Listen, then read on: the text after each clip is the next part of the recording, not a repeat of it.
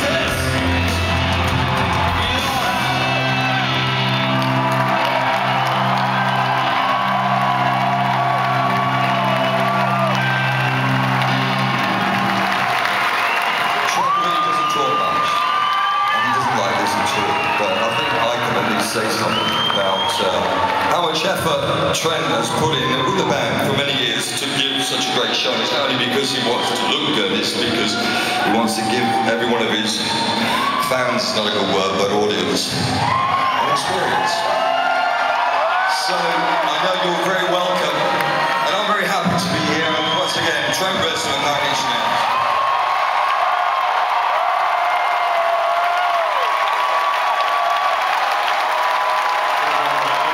Tours uh, with Peter.